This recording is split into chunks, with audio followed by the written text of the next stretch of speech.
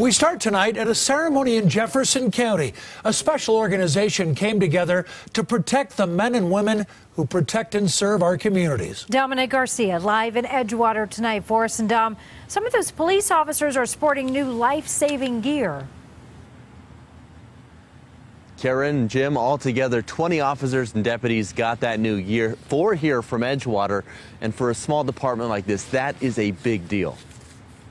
We got these plates, the rifle plates themselves. It may be a few days after Christmas. And this is rated um, at a higher level to deflect up to a 45 caliber round. But for Edgewater Police Officer Bob Brink, these are gifts worth waiting for. For any active shooter situation that we get into, this is paramount for us. He was one of 20 people who got gear from the nonprofit Shield 616, gear that would otherwise cost several thousand dollars. Over the years, officers have purchased them themselves, but it's really taken a burden on their, their income. Most officers in the field wear what's called a soft vest. Important, but it cannot stop rifle rounds. These can. When you talk to people out in the community, are, are they surprised you don't already have some of this stuff? Yeah, quite honestly, they are. Bob says it gives him the confidence he needs to do his job. With my wife, my kids, I want to be safe at work so I can go home to them at night. Something Sarah France thinks about all too often.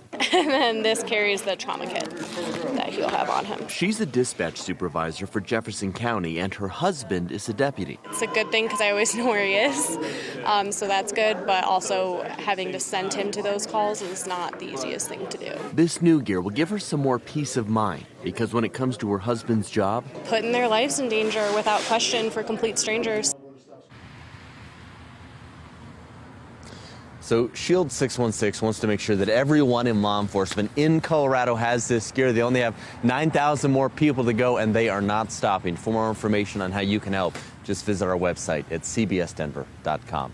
In Edgewater, Dominic Garcia, covering Colorado First. All right, Dominic, thank you.